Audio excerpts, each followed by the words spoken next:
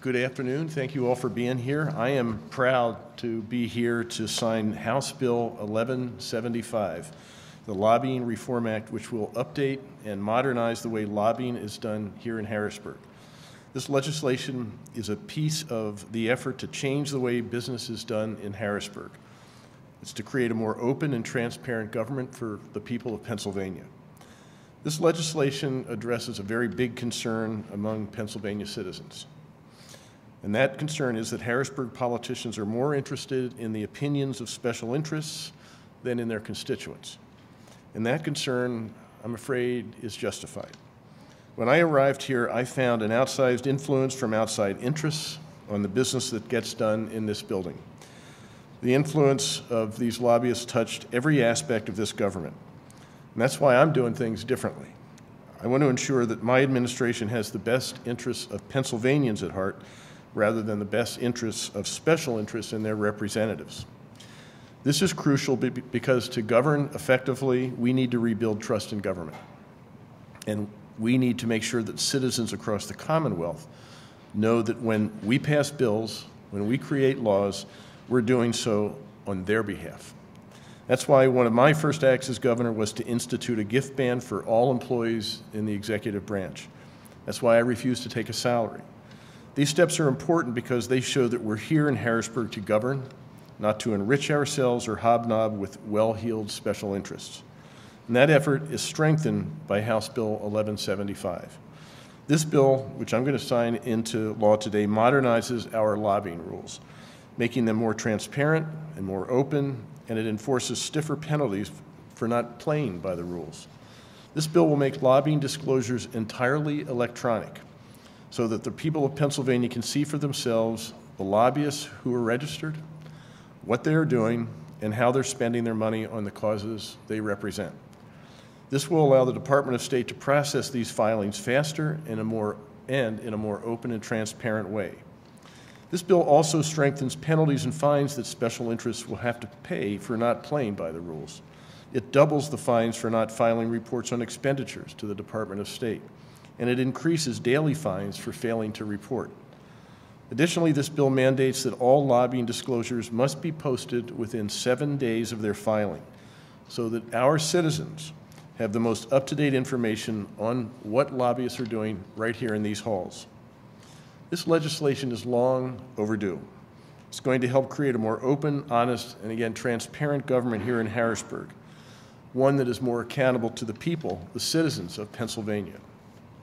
I am glad to sign this bill today, which represents a continuation of all of our efforts in the administration and in the legislature to create a more open and honest government and to change the way that business is done here in Harrisburg. If we want the people of Pennsylvania to believe that the work being done in this building is being done on their behalf and for their benefit, and for their benefit alone, we must ensure that they can trust the, that well-heeled special interests do not call the shots here. Our constituents need to be sure that when they send a representative to Harrisburg, they're sending someone who's going to be working on their behalf. This bill helps to make our citizens confident that they are the ones in charge in Harrisburg. So I want to thank our partners in the legislature for passing this bill and for making for working to make a more open government. And I especially want to congratulate and thank Representative Cutler, who's the prime sponsor of this bill and who's going to speak in just a minute, who worked diligently to get this to my desk. And I pledge to continue to partner with Representative Cutler and all those who want to make this government more transparent. I pledge to continue to work to change the culture of this town for the better, and I pledge to continue to work to make sure our citizens know that their opinions are the ones that matter the most. So thank you, and now I'd like to introduce Representative Cutler. Bryan? Good afternoon. Thank you very much for everybody being here. I'd like to take this time to personally thank Representative Brandon Neuman. Uh, he was my Democratic counterpart on this proposal as we've worked through it the last 10 or 11 years. Uh, he was a good partner who has since uh, moved on to become a member of the judiciary out in Washington County. I think this bill and this proposal, as the governor indicated, really demonstrates what we can all do when we're willing to work together for the betterment of all the citizens of the Commonwealth. I've always said throughout this entire process as we've worked through each legislative session, if people believe in what we do In order for them to do that, in order for them to believe in the product, they have to believe in the process. This makes the process more accountable, makes it more transparent, and most importantly, it also assists the lobbyists because they now will get an electronic receipt when they file. Much like we track packages that we order from Amazon or we file other reports online or make payments online, it will close the loop so that we'll have a definitive proof of when things were filed. I think it's important to increase that accountability on both sides. I'd like to thank the governor and his office. They were fabulous to work with, as well as my colleagues in the House and the Senate. It's been a long time coming, and I'm certainly looking forward to this, and I'll now turn it over to the Secretary.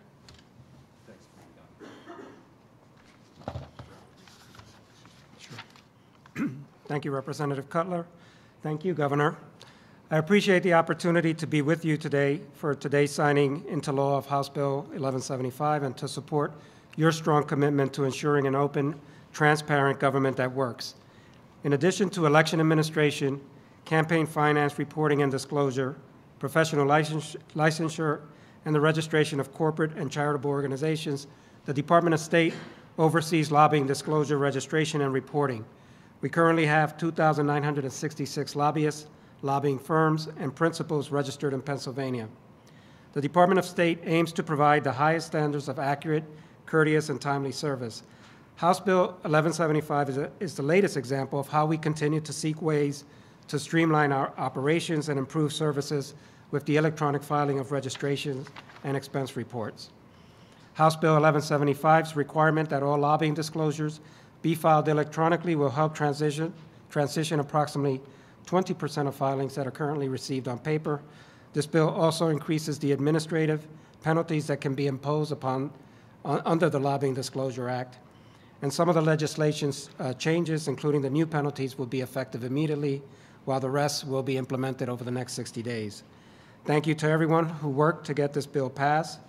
It helps to improve government operations, reduces Commonwealth expenses, and advances the law's most important value, transparency. We look forward to supporting other opportunities to achieve, achieve the same outcomes. Thank you for the opportunity to participate today. Thank you very much. Now, I'm to, we're going to sit down here and I'm going to sign the bill, then I'm going to come back here and answer questions on topic.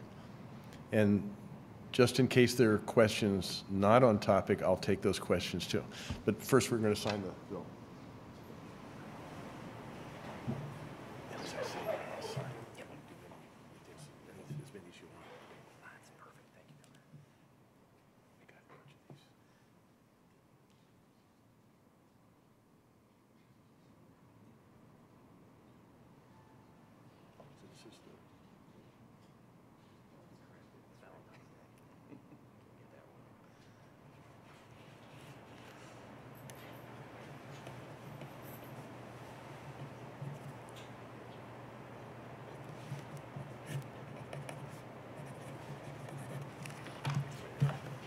Thank you very much. Thanks. Governor. Thanks. Okay, no, oh, let me, just, I'll see if gets one then, too. Thank you. any more of these you want? All right. I'll be in contact. Thank you. Thank you very much. Thanks. And if you have some technical questions.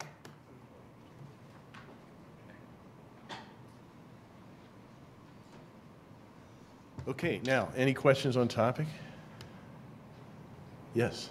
So in the, uh, your budget was about five hundred thousand dollars coming from some lobbyist, three hundred dollar biennial fee. Is that was supposed to pay for the upgrade to the system? I think he's, I think I'm you're not sure. referring to the charities application. We- No, I, I looked, it says there's a three hundred dollar lobbyist biennial fee that's supposed to provide a five hundred thousand dollar augmentation for lobbying disclosure in the budget. that, um, That's not related to. Not related to this, okay, so you're, you're going with your current. Well, yeah, th- this, uh, and maybe Representative Cutler would talk about this, but I think basically this is, this is an attempt to do a better job of making more transparent the filings that are already enshrined in current regulations and to make sure that, that the, the regulations are actually being adhered to on a timely basis. Is that fair? Yes, the governor's correct. Uh, In terms of the current approach, uh, much of it can be used utilizing existing resources. Uh, There was a slight fiscal note that was attached to it by both the House and the Senate, uh, mainly related to the computer upgrades that would be required to send the electronic receipts that I referenced during my comments. Uh, But the idea is to try to use existing resources to cover these upgrades because I think it's something that everyone expects, uh, you know, in terms of streamlining the process, and hopefully those efficiencies can then be driven back into the system. Yes. The, um, you mentioned that 20, percent of lobbying organizations file on paper now. Is that right? So the majority are already doing it electronically? Robert, you want to, you want to talk to that? Yes, that's correct. So this, this bill would force the, the other 20% to, to transmit electronically. I'm just wondering, how many, um, how many scofflaws do we have in our lobbying community that, that aren't filing, you know, in a timely ways? And- I, I don't ha- have that information available. I guess I was just wondering, like, what's, what is driving it besides good, good transparent government? What's driving the need for this? I I think there's a sense that, that there is less than hundred percent uh, compliance with the regulations, and this will help us get closer to hundred percent. Right. Yeah, there's, um, I believe last year, I think there was 14 is the number that sticks in my mind. We had pulled the numbers, because actually Sam Janesch, who I saw in the audience, had asked me this earlier, if I remember correctly. And we had, I had the break, breakdown for each year. Um, It is improving, uh, but one of the other areas of concerns regarding uh, the current system is there's some uncertainty in what to do if the computer system's down versus, you know, the law seems to imply, and we clear this up with this language, uh, thanks to everybody's involvement and highlighting the problem. The law seems to imply once you start filing by computer, you can never file by paper, which implies even if it's down. Uh, so by streamlining it, it makes it a lot clearer that, you know, filing is of the utmost importance, and then we can get everything in. Uh, but the, the number of individuals who are non-compliant is improving, but again, uh, I think it's important that we recognize, pe- for people to have faith in the process, uh, in the product, uh, you have to be as transparent as you can on each of these issues. So, Jan, we'll get you specific. And I can email it to you as well. Anything else on topic? Yes, fairly common? How many other states have a system like this? How unique is this to Pennsylvania? that's a good question, Robert. I'm going to. We're the out, uh, go ahead. You can say it. We're the out. We're, we're finally catching up uh, in terms of some of the reporting. Um, You know, there was some issues related to the lobbying disclosure law when it was first implemented. Uh, There were some constitutional questions that were raised. It's been, it's been redone.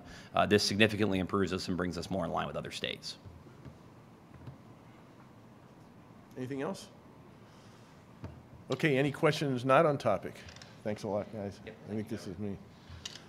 Yes, Uh, Should we expect your administration to submit a proposed map to the court tomorrow for congressional districts? I I haven't decided. Uh, I'm a party to the litigation, so as a party to the litigation, I have uh, standing to to submit a map, and and if I do, I will do it by 5 o'clock tomorrow. If you don't, then how can you say that you're working to get a fair map? Um, The, the, good question. The, the, the court gave me the uh, responsibility for looking at the map that was submitted to me by the legislature and to decide whether I thought that met the standard of a fair map. I've done that. I rejected the map. Uh, And uh, as far as I know, that was specifically what they asked me to do. Uh, As a defendant in this case, as governor of Pennsylvania, I have standing to actually present my own map. So I think I, I can say that I've already done what the court has asked me to do in terms of judging and serving as the arbiter of whether the map that I got was fair. I decided that I, it was not. Uh, and uh, if I go and do something beyond that, that, that's something I'm doing because I'm a party to the litigation. Why wouldn't you submit a map? I mean, what, what, what good reason is there for you not to submit a map? I'm, I'm not sure. As, as I say, I haven't, I haven't made the decision yet. But you're not sure what reason there is to not submit a map? Yeah, I'm, I mean, there, there is, there are other people with standing who may or may not. I, I don't know who is going to submit a map or not. I think uh, uh, the, that I have that, that option, and, and if I do it, it'll be by tomorrow at five o'clock. Um, Governor, in, uh, you know, the pursuit of uh, fair partisan representation as you see it, um, are you okay with a map splitting more counties and municipalities than seen in the GOP proposal in order to make one that you see as more politically fair? Yeah, I think uh, one one of the tough things, I'm, I want a fair map, and, and contiguity, compactness uh, minimizing splits, those are all parts of a fair map. Uh, And I think whatever the fair map ends up being, uh, uh, I think it it minimizes uh, the amount, the number of splits, and, and uh, that's important. It's not the only criterion, however. So would you be okay with there being more splits if it's, as you see it, you know, fair for Democrats? As I say, if I pres- provide a, a map, it'll be by 5 o'clock tomorrow, and rather than dealing in speculation or hypotheticals, I'm going to do what I end up doing. Yeah.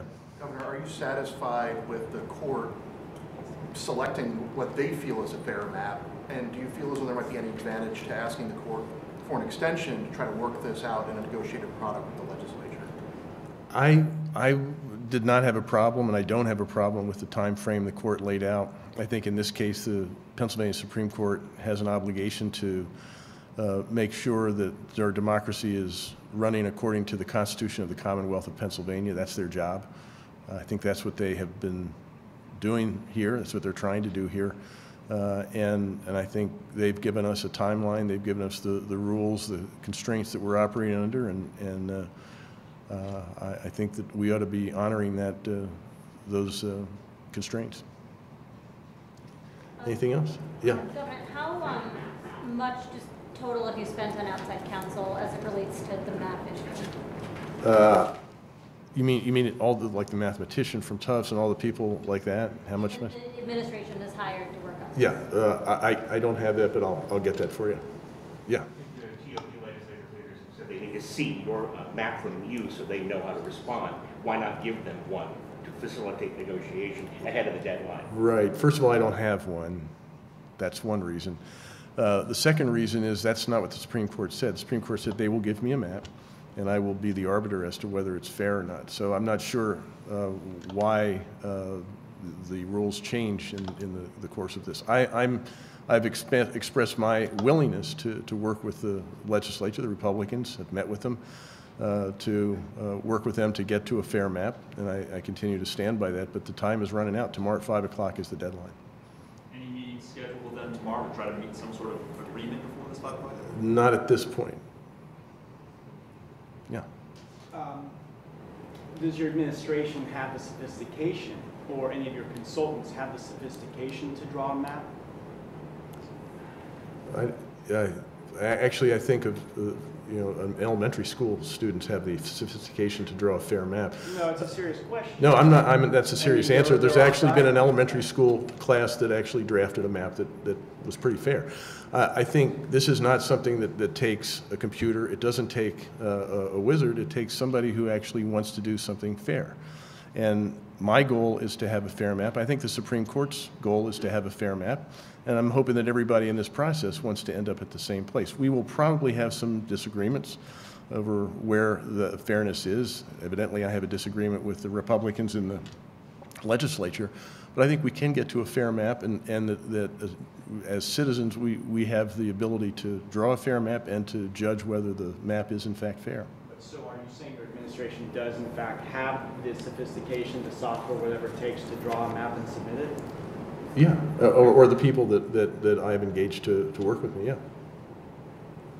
Anything else? We're not all thinking about moving the primary date, I mean, or, and like, you know, as this goes on, and if, if there's a challenge to whatever, you know, you submit or you decide, at what point would you say, okay, we gotta push the primary date back a little bit?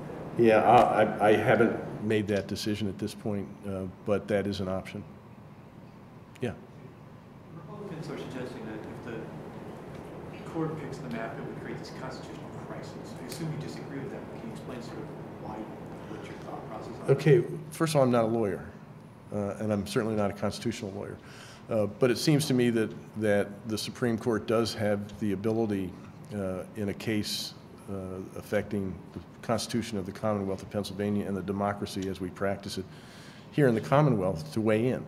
And I think that's what they've done. So as a, as a, as someone who watches what different branches of government do to pass legislation, but also to serve as stewards of our democracy, seems to me that, that they're acting uh, in a responsible way here.